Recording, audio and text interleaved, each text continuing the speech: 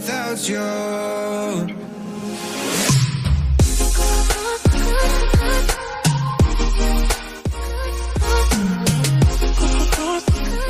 Hey guys, welcome back to another video. It is your boy Dog here, and today guys, we are going to be going through some caves, or should I say some caverns. Got some electrical up there, I think they're for the air conditioning. I don't know what this rock is.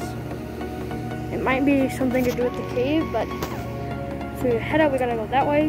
It is now 10 o'clock right now. Um, we have the 10:15 tour, so we have like 15 minutes left. We gotta go. So now we're just chilling. Looks like I can see some of the parts they use down inside the cave. This is gonna be really cool because this is like an actual formed cave. So see you guys when we get there.